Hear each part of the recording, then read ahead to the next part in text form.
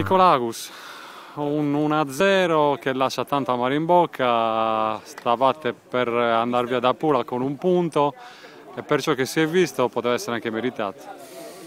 Ma sicuramente siamo arrivati qua con l'intento di fare una partita di, sicuramente di contenimento per via della situazione, per via dei, dei problemi che si sono creati per la Coppa Italia.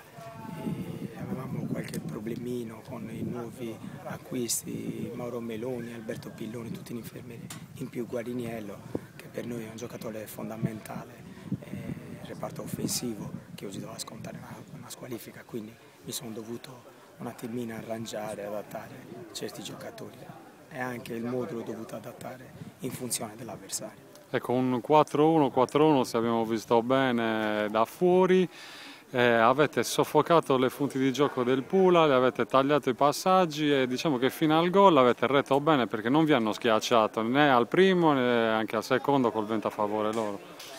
No, sono, sì, effettivamente sono d'accordissimo, siamo stati bravi nelle coperture, nelle prese di posizione, siamo stati bravi anche ad interpretare questo modulo che ho, che ho cercato di provare durante la settimana con tre centrocampisti interni, solitamente io gioco con il classico 4-4-2, gioco con due interni, ho giocato con tre centrocampisti con un play basso e due interni, destra e sinistra, in più due esterni, di diciamo che è un, un 4-5-1 poi alla fine, però molto bene, sono contento per i ragazzi, non sono contento sicuramente per il risultato. Normale.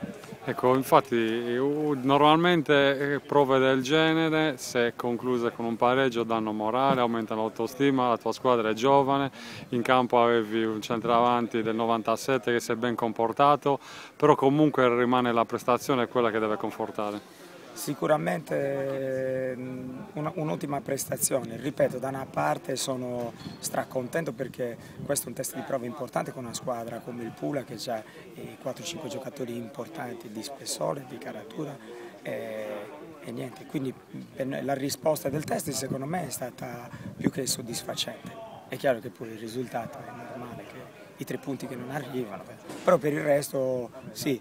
Eh, un buon test, una buona risposta che ci consente di, di guardare in avanti. Senti Nicola, come si riparte dopo una stagione molto particolare come quella dell'anno scorso? Voi avete chiuso con 40 punti, vi siete ritrovati a fare triangolare, playoff, playout a seconda di, di, di quale squadra ci dobbiamo uh, sistemare e poi alla fine è arrivato magari un ripescaggio a rendere giustizia ad un'annata perché 40 punti e poi retrocedere è quasi incredibile. Guarda, per me l'anno scorso è stata un'esperienza incredibile anche perché mi sono ritrovato nel vortice dei playout a 40 punti come stavate dicendo voi. Poi alla fine l'ho chiusa con gli spareggi, l'ho chiusa a 47, quasi 50 punti, ho rischiato sino alla fine l'ultima partita contro il Tonaro dove ho vinto 2-1 e lì ho, ho, ho, come si dice, ho archiviato proprio la promozione lasciata darmi.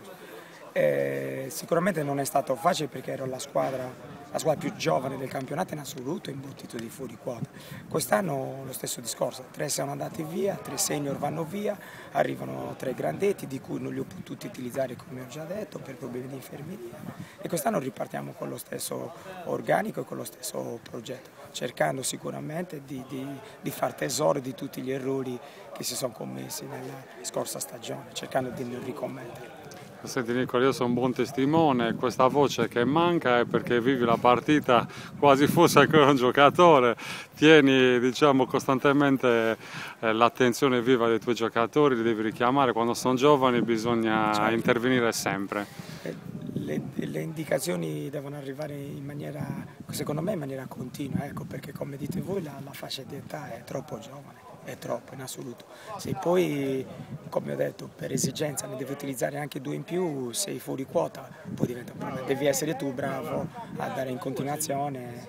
Io forse poi alla fine magari sono anche esagerato, sono un martello, ma, ma per carattere sono così. Però è giusto che le indicazioni arrivino e corri i correttivi arrivano in maniera continua. Sì, tra l'altro dipende sempre da come lo recepiscono i giocatori. Vedendo sempre dal campo si vede che c'è la buona predisposizione dei giocatori a recepire le indicazioni, quello è, è, è fondamentale per voi allenatori. Questo sono, è colto proprio un punto particolare, io infatti ringrazio la squadra che che mi dà, come si dice, mi dà quella giusta fiducia, che poi alla fine la fiducia deve essere contraccambiata, nel senso che io devo avere fiducia del giocatore e il giocatore deve avere fiducia dell'allenatore.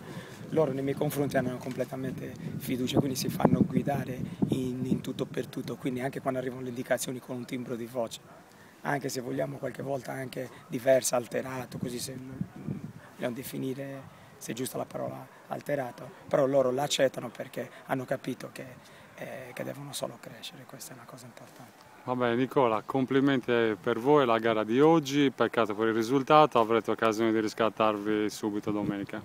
Grazie, grazie a voi, buonasera.